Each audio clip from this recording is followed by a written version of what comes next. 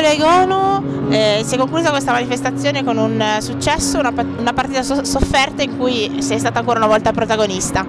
Sì, sono molto orgogliosa di questa partita perché eh, ci, siamo saputo, ci siamo sapute rialzare dopo essere cadute in un burrone veramente profondo. Siamo state molto brave a reagire così e spero che queste, questi mondiali vadano a finire bene per noi.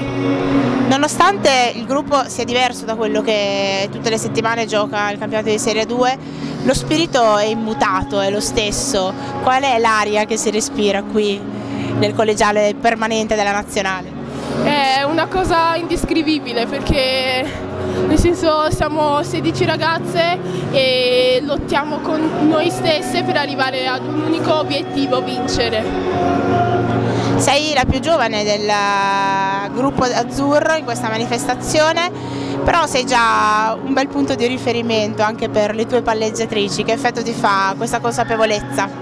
E sono ad un certo punto mi spaventa perché ho molta responsabilità addosso però sono felice perché loro si fidano di me e quindi posso tirare quanto voglio senza preoccuparmi di quello che succederà. In bocca al lupo e buona continuazione. Grazie Crepi.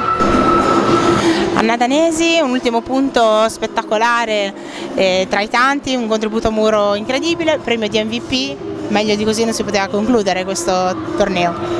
Sì, sono molto contenta anche soprattutto della prestazione che abbiamo fatto tutte insieme perché non è facile eh, giocare, partire sotto 2-0 e poi recuperare e vincere una partita anche se giocavamo in casa e il tifo era diciamo, più a nostro favore comunque ce l'abbiamo messa tutta e infatti poi il risultato si è visto. Dal punto di vista tecnico, qual, tattico, qual è stata la svolta secondo te di questa partita?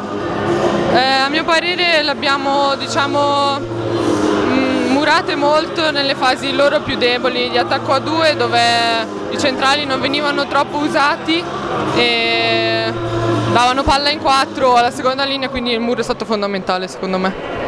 Che, mm, quanto vi servirà adesso per voi che ritornate al ritmo settimanale della Serie A2 questa esperienza che si è conclusa così positivamente? Molto anche e soprattutto dal punto di vista emotivo perché queste partite ci possono dare solamente una carica in più per fare ancora meglio. Complimenti e in bocca al lupo. Grazie.